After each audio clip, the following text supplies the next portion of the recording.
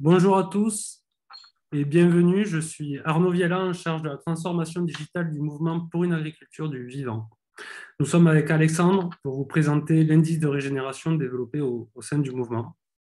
Pour une agriculture du vivant, c'est un mouvement créé il y a trois ans qui fédère l'ensemble des acteurs de la transition, de l'amont à l'aval.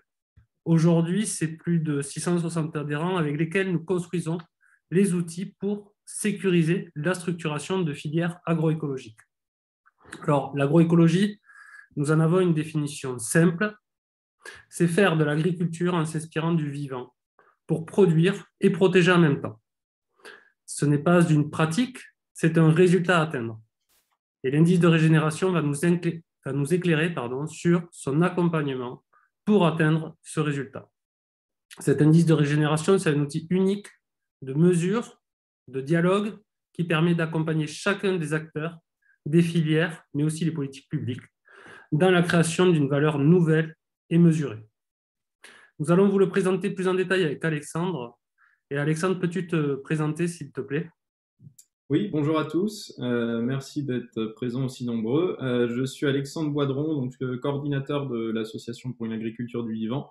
et donc, en ce qui concerne l'indice de régénération, j'ai été en charge avec Léa Lugassi de le mettre sur pied, voilà, de, de, créer l'outil et d'apporter toute l'expertise terrain, en tout cas tous les retours terrain pour créer un outil qui soit le plus réaliste, utilisable et, et en, en, phase avec, avec ses réalités de terrain. Merci Alexandre. Avant de, débuter, nous vous proposons une question pour évaluer votre connaissance actuelle de, l'indice de, régénération. une fenêtre de sondage va apparaître sur, sur vos écrans et nous allons avoir 15 secondes. Vous allez avoir 15 secondes pour, pour y répondre. Alors, pour vous, l'indice de régénération, il peut être calculé seulement pour des fermes en agriculture de conservation des sols, pour toutes les fermes, mais avec une grille adaptée à chaque type d'agriculture, ou pour toutes les fermes, quel que soit leur type d'agriculture, en agriculture conventionnelle, en agriculture biologique, en agriculture de conservation des sols, en HVE, etc. On se laisse 15 secondes pour ensuite rebondir dessus, rebondir sur vos réponses.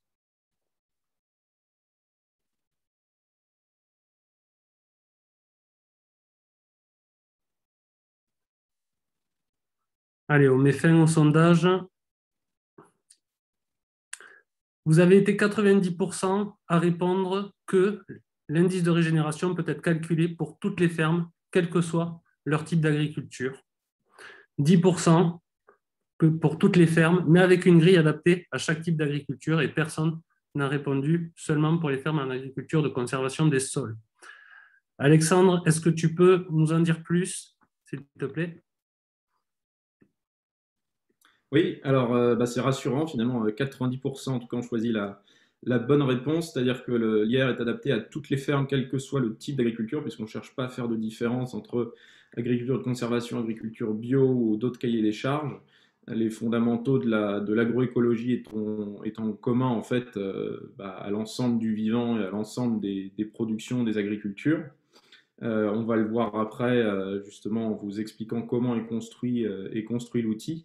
Et il y avait une deuxième proposition qui était toutes, les, toutes les agricultures, mais avec une grille adaptée à, chaque agriculture. Alors plus précisément, c'est à chaque production, puisqu'effectivement, même si on a beaucoup de critères communs d'une production à l'autre, par exemple grande culture, arboriculture, vigne et, et les prochaines productions qui seront prises en compte par l'indice de régénération, euh, eh bien, les façons d'évaluer ces critères euh, sont euh, propres à chacune et, donc nous créons à chaque fois un, nouveau formulaire de, données d'entrée et, des calculs qui, varient d'une production à l'autre. Donc il faut pouvoir choisir si, on fait le diagnostic d'un atelier grande culture ou d'un atelier arboriculture jusqu'à maintenant par exemple. Alors, comme vous le voyez sur, la page que, je vous partage, L'IR, c'est un véritable moteur pour piloter et valoriser les actions de la transition réalisées par tous les acteurs de la chaîne agroalimentaire.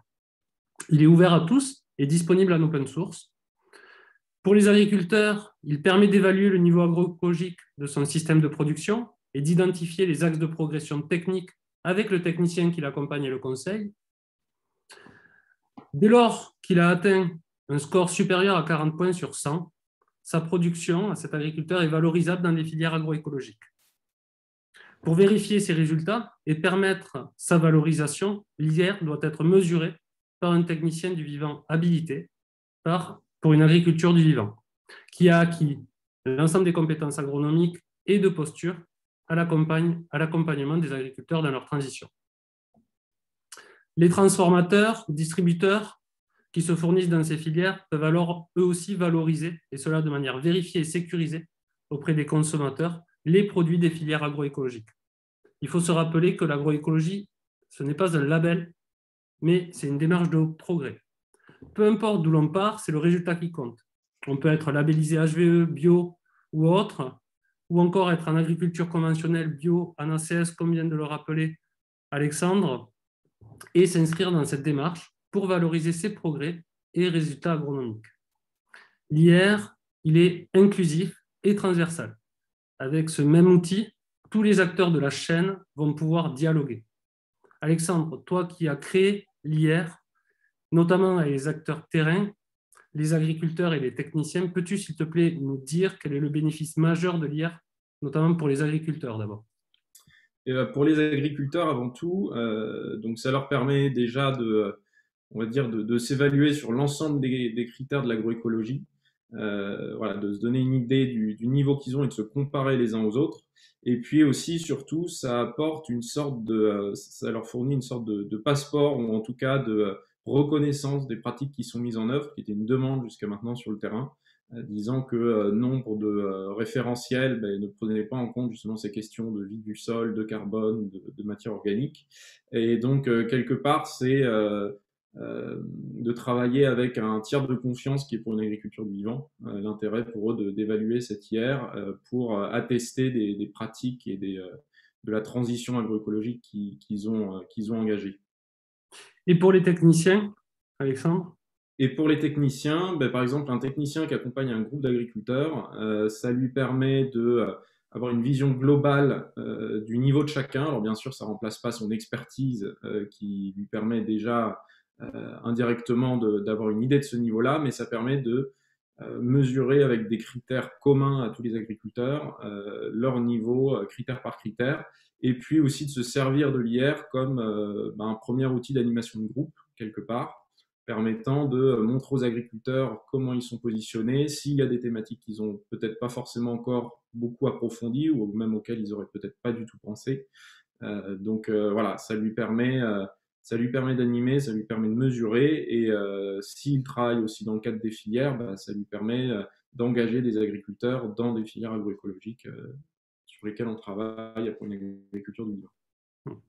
Pour ceux qui, se poseraient la question de comment intégrer des filières agroécologiques ou comment aussi avoir accès à des techniciens du, vivant, sachez qu'en en, rejoignant le, mouvement, par exemple, pour les agriculteurs, l'adhésion est, totalement gratuite ils ont accès au réseau des acteurs euh, de la transition et donc des, techniciens du vivant. Et ça, on le verra aussi ensuite, aidé par une plateforme digitale qui cartographie euh, ces acteurs-là.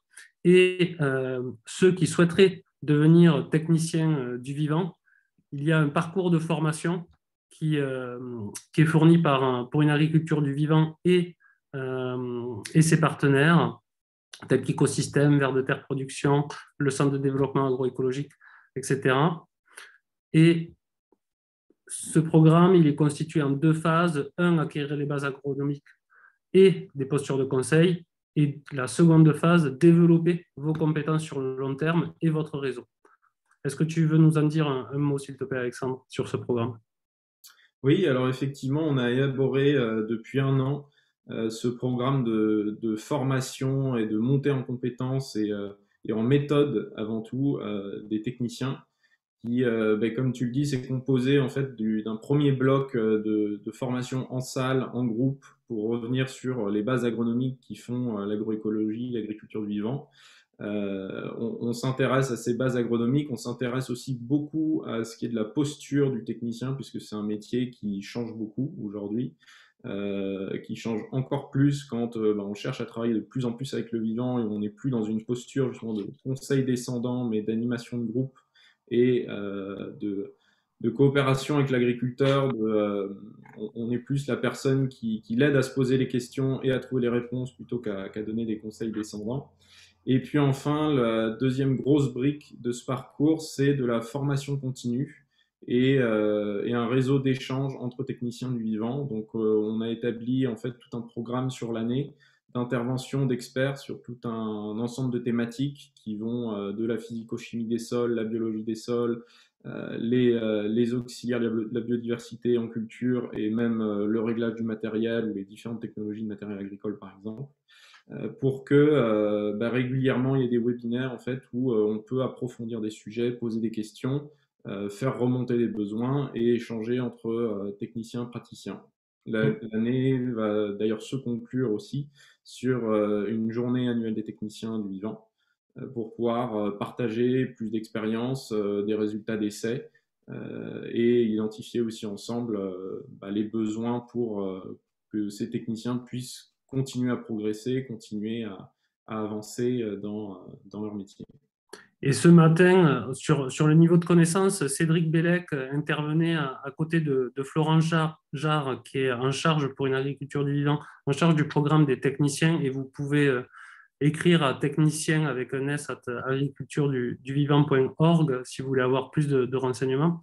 Il intervenait et il disait, dans dix ans, il va falloir acquérir des connaissances profondes pour accompagner les agriculteurs dans leur transition et pour acquérir et vraiment maîtriser euh, l'ensemble euh, de ces techniques, j'allais dire, d'accompagnement.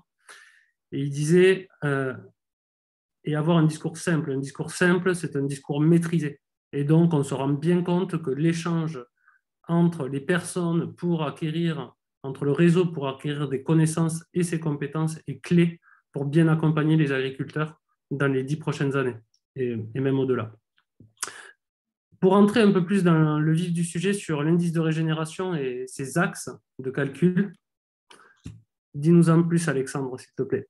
Oui, alors on va vous présenter euh, donc ce que c'est que l'indice de régénération, très, concrètement, quelles sont les, thématiques euh, que, que l'on aborde et qu'on mesure. Et donc pour ça, bon, nombre d'entre vous, je pense, euh, le savent, le cœur du réacteur, c'est la question des sols, de la vie des sols, euh, qui sont pas uniquement un support de culture, mais avant tout un lieu de vie, un lieu de vie pour euh, bah, tous les, les organismes, euh, du plus petit au plus grand, qui, qui, passent, qui passent leur vie et qui s'y nourrissent. Donc c'est c'est une maison et avec un toit en bon état et avec un frigo bien rempli, pour schématiser un peu les choses. Alors Arnaud, tu peux avancer sur, sur la diapo et, et faire défiler. Et donc les fondamentaux de l'agroécologie, c'est cela, euh, c'est de préserver les sols euh, en apportant ben, régulièrement euh, des, à, nourrir, enfin de la nourriture pardon, pour, pour l'ensemble de la faune et en préservant la couverture du sol, que ce soit par les racines ou par les, les, feuilles de la végétation, ainsi que l'ensemble des résidus. Et ça, c'est vraiment les, premières grosses thématiques autour desquelles on a construit l'indice de régénération, euh, qui malheureusement était trop absente euh, de, l'ensemble des, des, référentiels existants. Donc nous avons le premier qui est la couverture du sol, puis l'intensité de travail du sol, où on évalue euh, non pas mettant d'un côté le semi-direct, ou en tout cas l'absence de travail du sol, et de l'autre beaucoup de travail du sol, on a une échelle de mesure d'intensité de travail du sol. Nous mesurons ce qui concerne les entrées de carbone dans le système, c'est-à-dire la quantité de carbone qui chaque année est restituée au sol. Et enfin, on a la thématique euh, de l'azote, de la fertilisation azotée, où on cherche à s'intéresser sur les, formes d'azote utilisées ou alors la mise en place euh, de légumineuses pour euh, capter l'azote de l'air. Donc tu peux ensuite avancer vers les autres grosses thématiques que l'on a inclus, qui peuvent être communes à, d'autres référentiels également, qui sont la gestion phytosanitaire, donc où là, on est sur une évaluation de l'indice de fréquence de traitement. Euh, des critères liés à la biodiversité, on va le voir, euh, qui visent, euh, puisqu'on ne s'intéresse pas que au sol, mais aussi à évaluer tout ce qui est fait, tous les résultats obtenus sur la biodiversité aérienne, par la mise en place notamment d'infrastructures paysagères agroécologiques. Euh, s'ajoute à cela l'agroforesterie qui est, euh, commune, donc qui, concerne la mise en place d'un alignement d'arbres dans les parcelles ou bien de haies.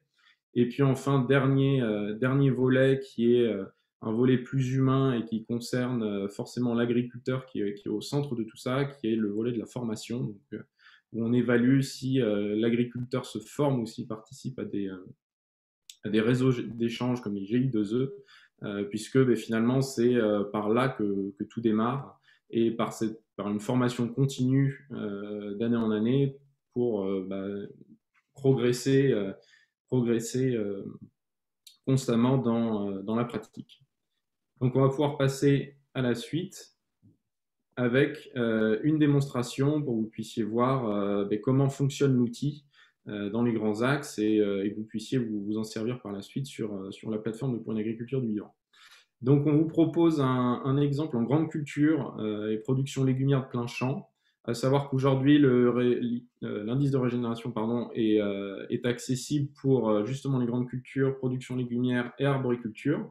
On travaille au développement sur la vigne, sur l'élevage bovin ainsi que sur le maraîchage, donc la production légumière euh, plutôt de type maraîcher, qui sera disponible d'ici la fin de l'année également. Euh, mais pour cette fois-ci, on va se concentrer sur, euh, sur ce qui est des grandes cultures. Donc on a créé une ferme qui est la ferme de Jean, qui est agriculteur céréalier dans l'Oise, euh, qui cultive une surface de 140 hectares dans des sols limono-argileux avec des taux de matière organique entre 1,3 et 2,4 vous avez là la liste de ses productions, donc comme vous pouvez le voir, c'est assez représentatif de, de, ce qui se fait dans sa région, à savoir des céréales, blé tendre, orge d'hiver, du colza, du lin fibre, et puis des cultures comme la betterave sucrière, la pomme de terre, euh, pommes de terre notamment, qui bah, jusqu'à aujourd'hui sont euh, assez gourmandes en travail du sol et sur lesquelles beaucoup d'agriculteurs travaillent à, améliorer la couverture, réduire le travail du sol, mais, euh, voilà, qui aujourd'hui a encore, encore ses limites. Donc on, cherche à, s'approcher d'un cas le plus représentatif. Euh, en termes de pratique, euh, Jean, jusqu'à maintenant, bah, euh, il, a beaucoup avancé sur les couverts végétaux. Il met beaucoup de couverts végétaux systématiquement dans ses longues intercultures, entre cultures d'été, d'automne, cultures de printemps, et des couverts diversifiés. Et en termes de travail du sol, eh il fait tout ce qu'il peut pour réduire, mais il n'est clairement pas en 100% semi-direct, ça reste de l'opportunisme. il est sur une approche TCS léger, c'est-à-dire vraiment de surface de 10 cm à peu près avec des techniques comme euh, les vibroculteurs ou le strip-till. Et en termes d'apport de matière organique, on est seulement sur quelques apports de, compost de déchets verts. pour que vous puissiez vous imprégner un peu du cas et, euh, donc juger des résultats qui seront euh, obtenus à la fin. Alors, on va aller faire un indice de régénération directement sur, sur la plateforme. On, le rappelle encore une fois, cet indice de régénération, dans une partie totalement publique et accessible à tous et en open source, vous avez un simulateur pour mesurer votre indice de régénération qui est accessible sur transition.agricultureduvivant.org ou plus facilement sur agroécologie.org aussi. Ici, on est dans une partie authentifiée ou dans la peau d'un technicien qui a un tableau de, suivi de ces agriculteurs, du moins des agriculteurs qui suivent, où il va pouvoir les renseigner et suivre leur progression en euh, réalisant l'indice de régénération. Donc, on va prendre euh, Jean. On a déjà pré-rempli le, diagnostic pour aller plus vite dans la saisie. Mais euh, en soi, si, euh, si on devait donner un ordre d'idée du temps de saisie, que ce soit en arboriculture ou en grande culture, ça prend combien de temps? Alors, ça, va très vite. La, partie qui prend du temps est, celle de la création de, de, parcelles, donc qui est déjà faite ici euh, qui vise à créer euh, sur la plateforme, euh, sur le diagnostic, l'ensemble des parcelles de l'agriculteur pour renseigner les cultures principales de l'année, la culture précédente, éventuellement la seconde culture, culture dérobée, et puis un ensemble d'informations comme la surface de la parcelle, le taux de matière organique, pour ensuite pouvoir renseigner l'ensemble des, des étapes de, l'itinéraire technique. Euh, donc voilà, selon le nombre de parcelles, la première fois qu'on le fait, ça peut, ça peut prendre un peu plus de temps. Mais ensuite, une fois qu'on remplit l'ensemble des, étapes de l'ITK, ça va très vite et on, est sur euh, une heure, euh, une heure et demie avec l'agriculteur pour, pour remplir l'ensemble des, des, informations qui permettent en plus de passer en revue euh, bah, la campagne, euh, la campagne qui, s'est déroulée, euh, mieux savoir comment ça s'est passé, qu'est-ce qui pourrait être. Ça, peut tout à fait aussi se faire dans le cadre voilà, d'une discussion technique et, de bilan de campagne avec l'agriculteur. Alors, on peut préciser que un, durant l'année, on est en train de travailler sur la connexion de l'indice de régénération au système de gestion d'exploitation euh, pour ne pas les citer, euh, mes parcelles, SMAG, etc. Les plus grands systèmes de gestion d'exploitation, du moins ceux qui sont les, plus utilisés. Donc, pour faciliter euh, l'import des, données déjà renseignées dans ces logiciels-là. Deux, il y a aussi des mécanismes algorithmiques qui font que pour éviter une saisie, on, peut importer au fur et à mesure des données d'un précédent itinéraire technique que, que l'on a réalisé. Et la dernière chose, il y a deux types de diagnostics. Il y a un diagnostic agronomique euh, accessible pour les agriculteurs, mais aussi pour les techniciens, et ce, à des fins d'état des lieux et d'identification des pistes de progression technique. Ce diagnostic-là, euh, on ne rentre pas directement à la parcelle, on rentre plutôt en, en groupe de culture. Donc, un, ça va plus vite. Et sur ce diagnostic-là, il n'est pas vérifié par le processus, mais chacun, au moins, peut évaluer et se positionner. Le second, et c'est celui qu'on va vous montrer, c'est le diagnostic filière, où là, par contre, on va saisir, comme l'a dit Alexandre, chacune des, parcelles. Pourquoi? Parce que derrière, c'est un processus qui est vérifié pour pouvoir valoriser euh, son score au sein des filières. Je te laisse euh, continuer euh, la présentation des caractéristiques générales d'abord de cet indice de régénération. Oui, donc du coup, bah, l'évaluation donc se fait à, deux niveaux quelque part. On a ces premiers critères qui, euh, donc sur cette page caractéristiques générales, qui sont évalués euh, directement à l'échelle globale de la ferme, euh, de la rotation sur l'atelier considéré, donc ici les grandes cultures. Donc c'est-à-dire qu'on remplit une fois ici ce, ce formulaire-là pour l'ensemble des parcelles, puisque c'est des pratiques qu'on va retrouver à l'échelle globale de la ferme.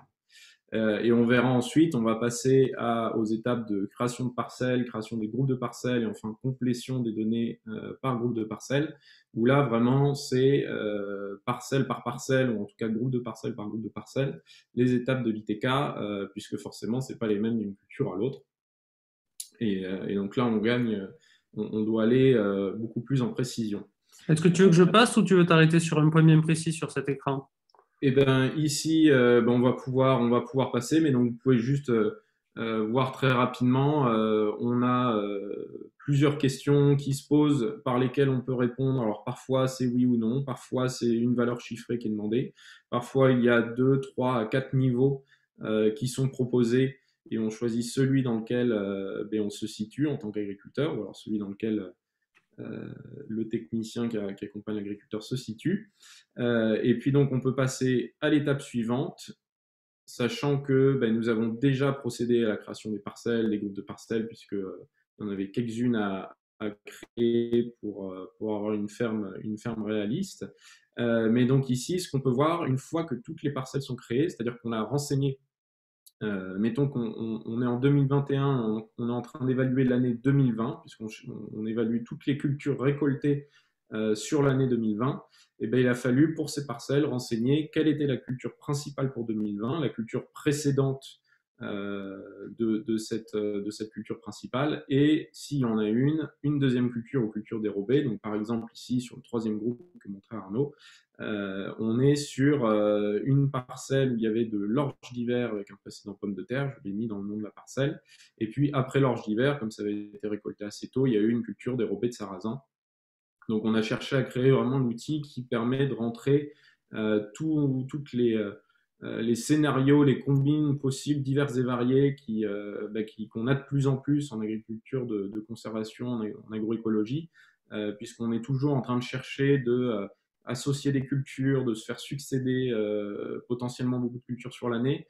En tout cas, on est sur des, schémas de rotation et de succession culturelle très très variés et, euh, donc l'enjeu était justement de pouvoir renseigner tous ces cas-là euh, très très divers et d'avoir un outil qui bah, finalement laisse beaucoup libre cours pour voilà pour, avoir tous ces cas-là. Et donc une fois juste tu peux donc là on a on a sélectionné un des groupes de parcelles. Tu veux que je retourne au, groupe? On, a sélectionné un des groupes de parcelles, mais donc en fait, euh, pour aussi faciliter la saisie y passer le moins de temps possible, mais tout en permettant quand même de la précision dans, dans les données renseignées. On a cherché à regrouper en fait l'ensemble des parcelles d'une même culture principale en fonction de leur précédent. Pour ben que, puisque c'est généralement comme ça que bah, sont définis les ITK ou en tout cas que qu'on peut faire tel ou tel travail du sol, tel ou tel couvert. Là, par exemple, sur le premier, euh, groupe, euh, automatiquement, toutes les parcelles de blé tendre d'hiver qui ont été semées derrière des betteraves sucrières ont été regroupées dans le même groupe, puisqu'il y a de fortes chances que l'ITK soit le même. Euh, donc, on aura la possibilité de le renseigner une fois pour toutes pour les trois. Mais on va le voir, on peut quand même, selon, selon les questions et les informations demandées, on peut quand même regagner un peu en précision. donc là, par exemple, c'est ce qu'on a fait pour ce qui est de la, date de récolte de la betterave qui est demandée pour euh, évaluer euh, derrière comment a été gérée l'interculture. Euh, donc on demande une date de récolte. Si on avait été sur du blé où tout est récolté sur une, sur une semaine, on aurait pu mettre une seule date peut-être pour les trois parcelles sans, sans que ça fasse varier le résultat. Là par contre sur de la betterave, si on commence à récolter en septembre, qu'on finit en décembre, ben, on a tout à gagner à ajouter un changement pour une ou plusieurs parcelles, indiquer la, donnée euh, voulue et puis euh, cocher euh, les, parcelles concernées par, par ces variations. Tu peux passer à l'étape d'après. Donc, après avoir évalué comment était gérée l'interculture, s'il y avait ou non un semis d'un couvert, on passe à l'itinéraire technique pour la culture principale, où là, ben, il y a des questions sur le type de travail du sol qui a été effectué, avec toujours la possibilité euh, d'avoir euh, la même pratique pour les trois parcelles du groupe ou alors de les séparer en fonction des, euh, des, opérations qui ont été faites, s'il y a eu de la variation de l'une ou de l'autre. Et puis ben, un ensemble de données sur les dates de semis de plantation, sur les intrants apportés, le tout pour ben, derrière pouvoir calculer les critères finaux que qu'on va voir à la fin du diagnostic, qui sont le taux de couverture, les quantités de carbone rapportées, l'IFT herbicide ou hors herbicide de, de la culture. Euh, et, euh, Il est important de, de rappeler qu'à chaque étape du, du processus, euh, il y a aussi une aide pour pouvoir le réaliser en toute autonomie, ce, ce diagnostic, avec des, des, infobules, etc., ou, ou même des, des schémas qui, qui s'affichent pour, pour aider à la saisie. On fait suivant? On fait suivant. Allez. Donc là, voilà, on a renseigné toutes les informations pour ce qui était euh, du blé semé après betterave. Il n'y avait pas de seconde culture pour ce groupe-là. Une fois que c'est fait pour l'ensemble des groupes de parcelles, eh ben, on défile en bas de la page et on passe à afficher les résultats. Hmm. On va y aller. Euh, vous pouvez renseigner pré-renseigner pour les techniciens des, euh, des, des, groupes de parcelles ou des données et les avoir encore en cours. Et c'est uniquement lorsque euh, l'ensemble de ces données euh, ont été renseignées que, qu'on peut afficher les, les, résultats. Mais ça permet aussi d'échelonner, de préparer un diagnostic en amont et de terminer la complétion directement au champ, par exemple. Alors, on a une note de 77, Alexandre une note, voilà. Alors voilà, là on arrive sur la, page finale du résultat. Et juste avant de la, défiler, euh, je vous rappelle, enfin il y a déjà beaucoup de monde qui a pu poser des questions. Léa qui a répondu en, direct, euh, je crois, pour la majorité d'entre elles. Mais si vous en avez et que vous l'avez peut-être pas encore vu, vous avez la possibilité de les poser dans l'onglet Converser ou QR. Euh, et on y répond ou en live ou, par écrit si, si besoin. Euh, donc voilà pour ce qui est de la, page des résultats finaux obtenus donc à l'échelle globale de la ferme, c'est-à-dire que toutes les données rentrées parcelle par parcelle sont agrégées, pondérées en fonction de la surface des parcelles euh, pour euh, sortir une note finale critère par critère. Donc là on retrouve les grandes thématiques dont on a parlé au tout début, qui étaient la couverture du sol, le travail du sol et les autres que l'on verra par la suite. Donc avec une note globale sur 100 qui est attribuée, qui est la somme de, des notes ben, obtenues thématique par thématique, avec, on peut le voir, euh, selon les thématiques, euh, jusqu'à 18 points, euh, pour certaines seulement 5 points. Donc ça nous permet aussi de donner plus ou moins d'importance à certains critères. et, à l'agriculteur aussi d'être, bah, d'avoir une liberté dans, dans, son, dans son évolution, dans sa progression. Il n'y a pas de, de note, on va dire, KO ou éliminatrice on peut avoir 0 à une note et peut-être 18 sur 18 à, un autre critère. Euh, ce, qui, permet vraiment à chacun de, trouver sa voie, d'avancer préférentiellement sur certains critères pour démarrer, euh, de s'améliorer par la suite sur d'autres, et même aussi peut-être parfois de se rendre compte que, euh, bah, par exemple, un critère biodiversité ou un critère sur la, ou, qu'on a mis de côté des, questions sur la fertilisation, et de se dire ah bah effectivement j'avais pas forcément pensé que euh, j'avais un, travail à faire là-dessus, ou alors je n'y ai pas encore passé assez de temps, je ne me suis pas encore assez intéressé à la question et je peux encore améliorer mon système euh, en euh, travaillant sur les formes de, fertilisation azotée, par exemple. Voilà pour l'ensemble des résultats. Alors pour chaque thématique, chaque critère, vous avez un petit i d'information aussi qui vous détaille comment évaluer, comment est calculé le critère. Donc c'est ça vous permet de, voilà, de beaucoup mieux savoir euh, comment, euh, bah, sur, quelle euh, référence on se base, comment est établi le calcul derrière, quelle est la philosophie, la logique aussi derrière, derrière ces calculs. Et si vous avez bien sûr des suggestions à faire, vous pouvez faire ces retours, à savoir que bah, tout cet indice de régénération, nous l'avons effectivement construit nous euh, Léa et moi, mais euh, le tout en partenariat avec euh, le conseil scientifique de Pour une agriculture du vivant, l'ensemble des membres qui ont participé également, donc techniciens, agriculteurs de terrain, qui ont fait leur retour, qui ont testé l'outil, avec qui on a établi les seuils, avec qui on a établi les, notes et les, et ainsi que aussi toutes les catégories qu'on peut renseigner critère par critère. Donc euh, c'est avant tout un travail de, de praticiens et, euh, et, de personnes qui ont, les, qui ont, les, références. Donc je vais pouvoir avant de, avant de, passer aux questions, donc, je vous le rappelle, vous pouvez, au travers du simulateur sur euh, Transition pour l'agriculture du 1.noir, pour faire un peu la promo, mais aussi surtout pour mesurer où est-ce que vous en êtes, vous pouvez simuler votre indice de régénération. Et, et sur la plateforme, si vous êtes adhérent ou euh, si vous souhaitez euh, faire partie du, réseau des, acteurs de, la transition en tant que technicien ou partenaire technique, vous avez aussi accès à l'ensemble des autres outils de, la plateforme euh, digitale, donc notamment cet indice de régénération où au fur et à mesure, vous pouvez suivre votre progression, les techniciens peuvent créer votre plan de progrès et vous pouvez le consulter à tout moment. Vous avez accès l'ensemble des projets menés pour la transition avec des indicateurs. Pourquoi pas rejoindre ces projets-là? La cartographie, comme je vous le disais, des acteurs avec la mise en réseau directement avec ces acteurs pour progresser ou faire appel ou vous fournir, si jamais c'est un acteur de, l'aval, auprès euh, de coopératives ou d'agriculteurs en produits, une boîte à outils de la transition et enfin le catalogue de formation en agroécologie. Je te laisse répondre aux questions, Alexandre?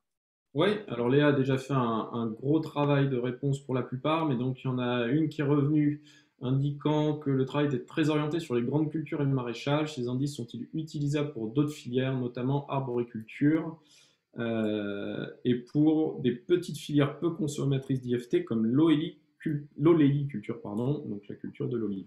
Euh, donc oui, oui, c'est tout à fait utilisable. Euh, donc comme je disais, euh, aujourd'hui, l'IR existe pour les grandes cultures, production légumière plein champ et l'arboriculture. Donc pour ce qui est de la culture d'olivier, ça rentre complètement dedans. Le fonctionnement est sur la, exactement la même philosophie. Les, les, thématiques évaluées à la fin sont les mêmes. c'est juste que en intermédiaire, forcément, on ne mesure pas les choses de la même façon. On a une logique de euh, d'évaluation des pratiques dans les interrants, d'évaluation des pratiques sur le rang, que ce soit pour la couverture du sol, le travail du sol, euh, le type de couverts végétaux mis en place et, et d'autres euh, paramètres. la seule chose qui malheureusement manquera certainement encore aujourd'hui, ce seront des références pour les IFT par exemple, qui sont encore très peu disponibles, mais donc on cherche à, à créer par le réseau justement implémenter, implémenter ces références pour pouvoir s'évaluer.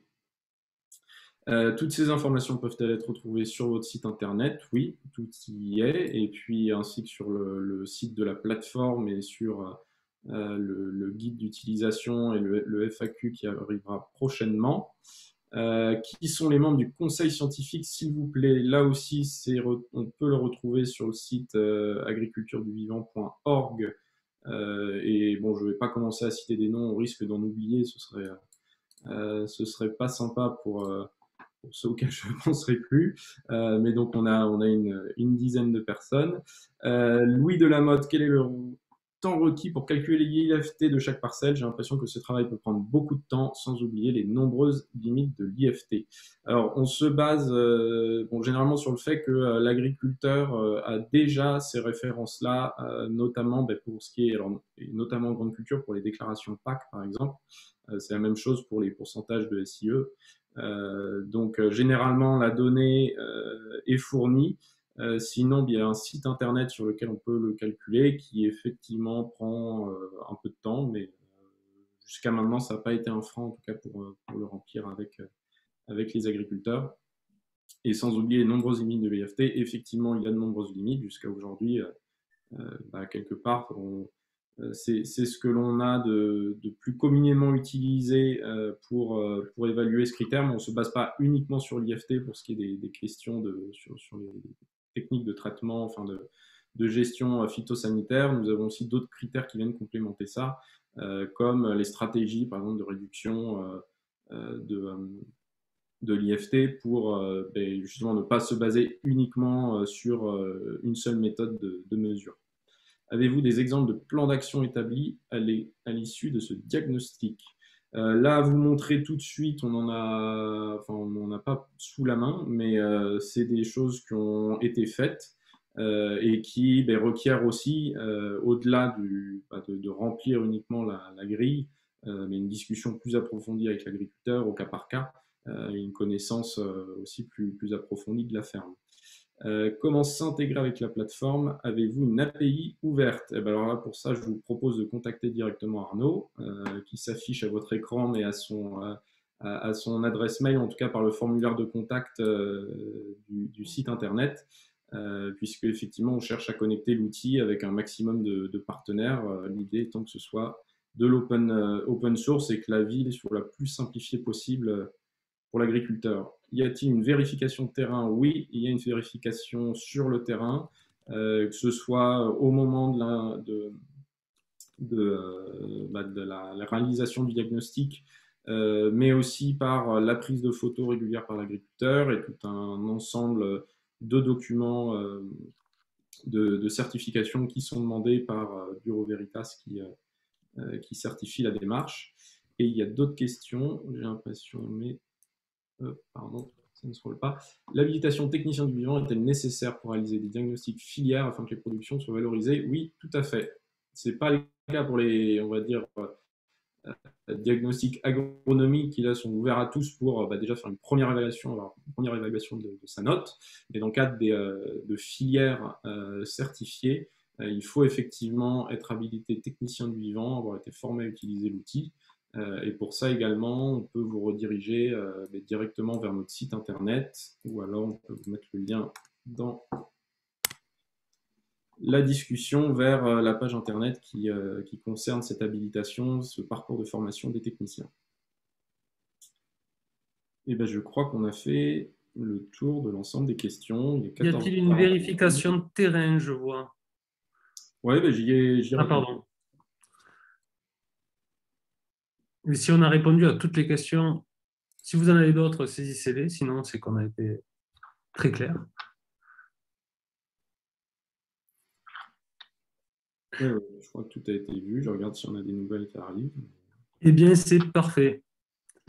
nous vous souhaitons une bonne journée. Et euh, n'hésitez pas à consulter le, programme pour euh, assister au prochain débat ou euh, au prochain au prochain autre atelier sur les outils de la transition. Et euh, sur ce, je vous souhaite une bonne journée. Merci à tous. Merci. Au revoir.